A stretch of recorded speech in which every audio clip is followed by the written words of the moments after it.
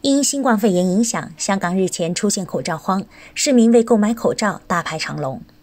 为缓解香港社会口罩供应紧张问题，香港工会联合会开设口罩工厂，希望帮助香港打赢防疫战。香港工联会荣誉会长陈婉贤二月十七日表示，口罩工厂建设进度迅速。一月三十一日，工联会决定在大埔工业村建设口罩工厂，目前厂房、物料、人手已经准备就绪，建设陆续完成。工人大部分是义工，他自己也是义工中的一员。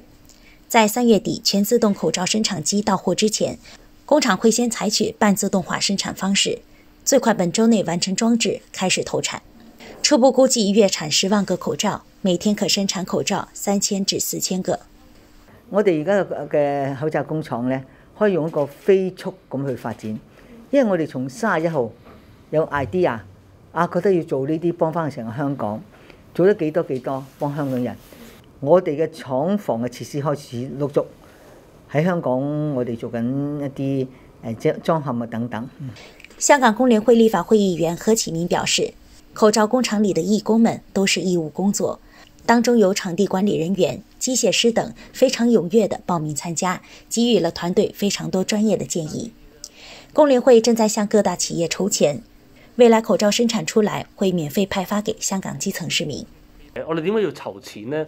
因為我哋嘅口罩係唔諗住係賣嘅，誒，我哋會諗住全部都係派。咁當然我哋係會俾啱啱行姐講啦，係會俾長者、俾弱勢社群、俾誒前線員工、俾一啲有需要嘅人。咁啊，當然我哋個產量，我哋會喺一個月之後都會提升。咁去，但係我哋都係一樣，我哋籌錢就係希望攞嚟俾錢去買誒材料，去做啲口罩俾佢哋。香港口罩供應商李國民表示。疫情爆發以來，自己公司的口罩銷售速度增加了一百倍以上。目前市場上的口罩價格也翻了十至二十倍。他稱，一方面是香港的口罩基本來源於內地，當前供應量減少；而更重要的是眾人在恐慌心理下的哄搶造成。如果按照正常的購買速度，香港的口罩供應量是足夠的。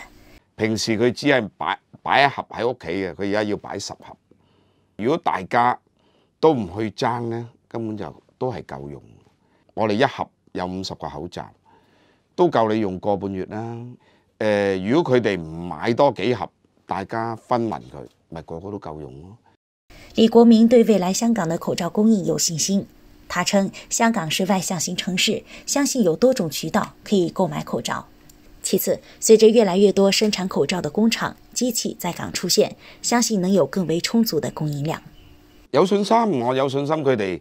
如果按照而家話咁多口罩生產商或者誒、呃、機器咁樣賣出嚟呢，而家另外一個問題就係原料跟唔跟得上啫。